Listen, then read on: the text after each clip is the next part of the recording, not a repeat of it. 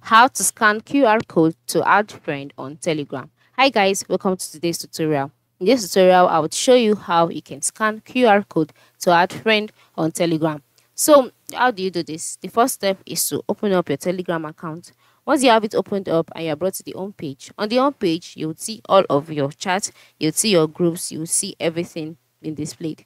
So as you can see all of this as well as your stories, you will notice that the major way of adding your friends to Telegram is by clicking on the search box and then typing out their username, right? Yes, this is the major way. But then if you're trying to use QR code, it is not difficult. The major way is to go to the top left side of the screen, click on the three horizontal lines. In the box displayed, select settings.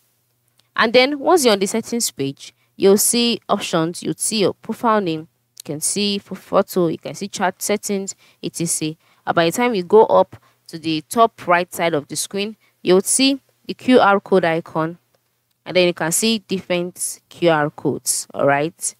Different shades that you can use to add friends on Telegram. So once you have this, you can just decide either you can either screenshot this QR code, that is, take a screenshot of it, or you can decide to share the QR code by clicking on share QR code at the lower part of the screen.